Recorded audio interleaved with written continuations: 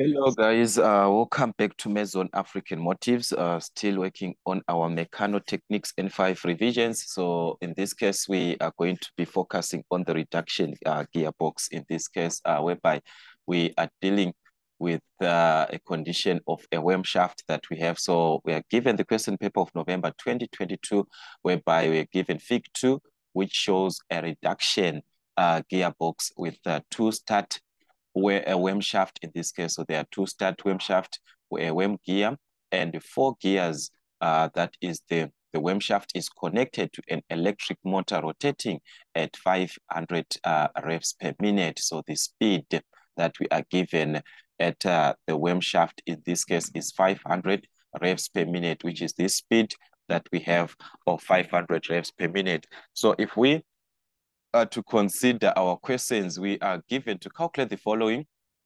7.1, the delivery speed of the gearbox, that is seven marks for that. And you wonder, uh, why are we supposed to have seven marks? Remember, uh, the input is at the worm in this case. So here we are having our input in this case. We are considering uh, this as the as the input uh, gear that we are going to have.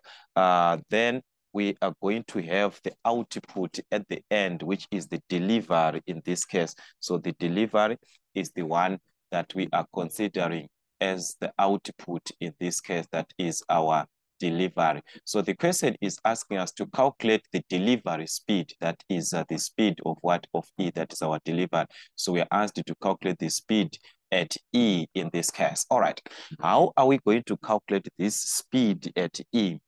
Uh, if we are to take note into consideration what was supposed to actually happen in this case, we were supposed to consider our speeds. Uh, remember from the ratio of speed, I'm going to explain this way. Uh, remember that we understand from the input concept to say the input speed. This is what we understand, the input uh, speed over the output uh, speed in this case. So we've got the input speed over the output uh, over the output speed, which is supposed to be the number of teeth is supposed to be equal to the number of teeth on the of the driven gears. In this case, we are considering the number of teeth of uh, driven gears. All right, so this is of driven gears over. Uh, in this case, we are going to consider the number of teeth of driving gears in this case. So we have got uh, the number of teeth the number of teeth of uh, driving gears. This is what we are supposed to have in actual sense, whereby we simply consider uh, the product of driven, in this case, the product of driven, uh, that is the product of driven, and we also consider the product of uh, driving, of the driving in this case, which is the one that is driving the other gears. So uh, if we were to consider this, I want us to, to be careful if we were to consider this, we're going to have the input and output in this case, like I considered here, we say the input, which is uh, our B, and the output, which is E. So we're going to have input, which is the speed at B. Uh, we're going to have the speed at uh, B, which is our input, over the speed of the output, which is E.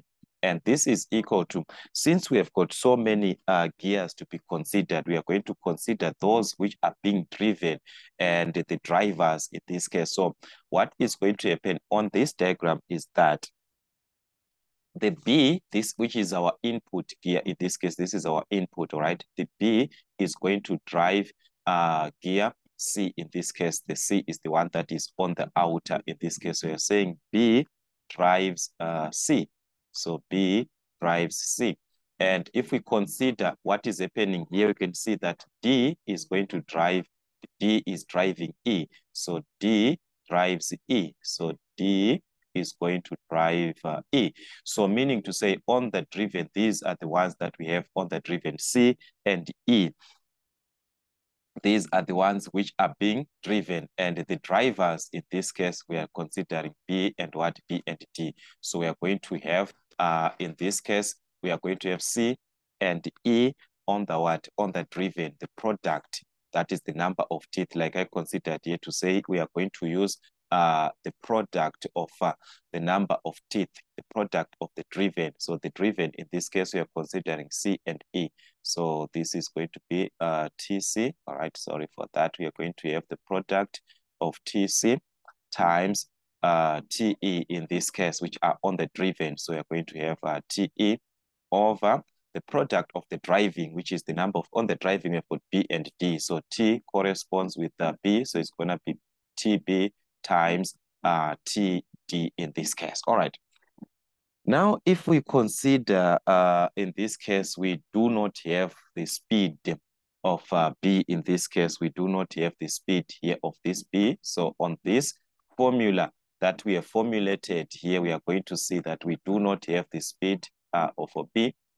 We want to calculate the output in this case. Remember, we are supposed to calculate the output, which is uh, N area. Like I said, the one that is on the output is E, the delivered. So we are supposed to calculate NE. We have got TC, uh, TE. Let's consider TC. Uh, call it this TC, TE. We have uh, B and D, B and also D. We have these, but we do not have these two. Uh, we do not have the speed at B, which is the input. And also we are supposed to calculate NE, the one that we are asked is NE. So now you have to ask yourself, how are you going to calculate NB, which is the speed that we have uh, in this case on the input. So what is happening is that uh, at B, let us consider what is happening on these two. At B here, if we are to consider our our gears, in this case, uh, the gear B, which is the one that I said is in the input. It is in the, on the same part where it where we are having A connected the same point. So meaning to say the speed that we are going to consider uh, on this on these two, that is A and B, we are going to have the same speed. So meaning to say, considering that the speed of B is equal to the speed of A, we can calculate the speed at A. Why? We know that from the formula, uh, in this case, this is the, the worm, the one that is affecting the worm. So we are going to have the, re the revolutions of the worm wheel. So this one, A, is representing the worm wheel. All right, this is our worm. Then we have got the worm wheel. But the worm wheel is connected to gear B, which is our starting point, which is at the input. Our gear in this case is the one that you're considering B. Then this is the worm wheel, which is connected to the what? To the worm. So we are saying the speed at B is the same as the speed of the worm. This uh, A in this case that we are having on the outer part, which is what? Which is the worm. So we are going to calculate the speed or the revolutions, the revolutions uh, of the worm wheel, all right? The revolutions of the worm wheel can be calculated. We have a formula for the revolutions uh, of the worm wheel, which can be taken as the speed. We are going to consider the speed, in this case, over uh, the number of teeth on the worm gear. So we are going to consider the number of teeth on the worm wheel in this case. We are considering the worm wheel, which is a TA. So we are going to consider the number of teeth, sorry for that, the number of teeth in this case uh, of the worm, that is of the worm uh, gear or the worm wheel in this case, all right? So that we just use the same concept. This is H. So if we are to consider this, we do not have the speed. We do not have the speed in this case. Uh, we do not have our speed. So where are we going to consider the speed in this case? The speed that we are going to consider is taken from the number of teeth. Since uh, we, are, we are considering that one ten of a worm, in this case, one ten of a worm shaft will displace two teeth on the worm wheel. One ten on the worm shaft, it is going to produce or it is going to di displace two teeth on the worm wheel, this one.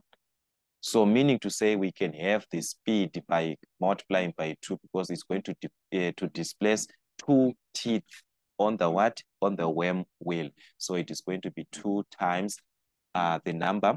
Uh, the speed that we are given in this case is 500. So if we multiply by this, we are going to have 500 which is 1000 in this case revs per, per minute. So we are given uh, the speed. So we're going to multiply uh, the speed that you have on the worm because it's going to displace two teeth. So you multiply it by two.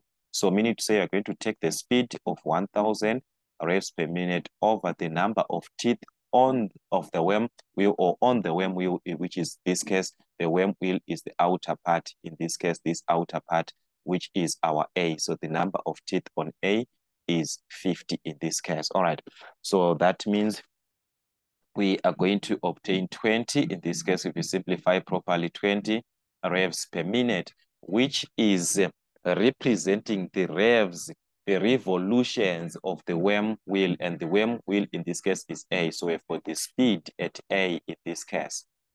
But the speed at A is same as the speed of the gear B in this case. So meaning to say we also have the speed of gear B. Since we said NA and NB, they are equal. So we're going to obtain 20 revs per minute we have the speed of B in this case. Remember, why are we calculating the speed or why are we worried about the speed at B? This is our input.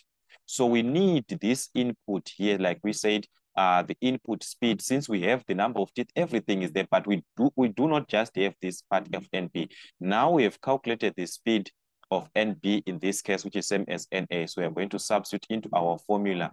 That is 20 over the speed of E, which is the output, that is our delivery in this case. Remember, we are supposed to calculate the speed of E in this case, which is the delivery or the output.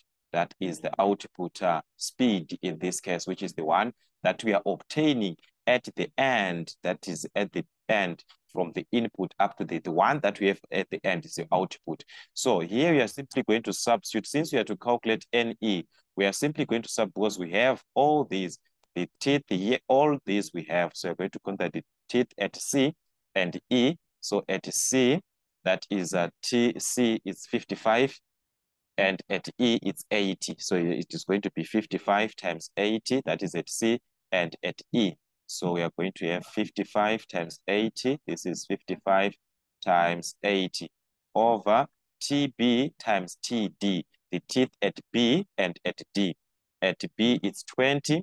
At D, it's 25. So it's going to be 20 times 25 in this case, all right? Sorry for that. So we are going to have 20 times 25. So that's it. We can calculate the speed at E. That is the whole part of the person. We have all this information. So what you're simply going to do here is to cross multiply. If you want, you can make NE the subject or you can cross multiply. So NE is going to multiply this whole part of 55 times 80. So 55 times 80 times NE, what are we going to obtain? We are going to obtain 4,400. So that is going to be 4,400 uh, NE, which is equal to you multiply this part 20 times 20 times 25, this whole part here, you are going to obtain uh, 10,000. That is something like uh, 10,000 in this case. So if we divide uh, both sides by 4,400 so that we determine the value of NE. We are going to obtain 10,000 over 4,400,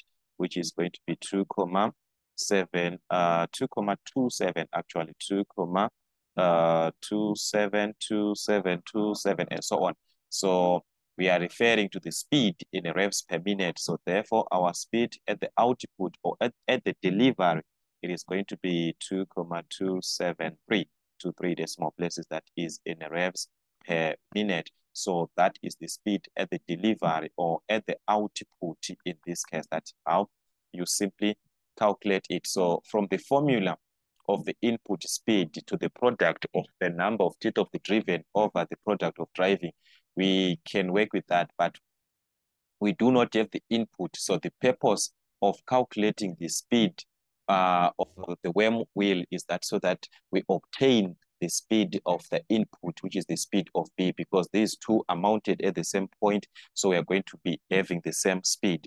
All right, then um, the other part of the question, which is now 7.2, was to calculate the velocity ratio of the gearbox. That is uh, three marks for that. All right, so how are we going to have uh, the velocity ratio? So it follows that from our formula, that uh, the velocity ratio is equivalent to the worm speed over the delivery speed. So we are going to consider uh, the worm speed in this case over uh, the delivery speed. So we are going to consider uh, the delivery speed.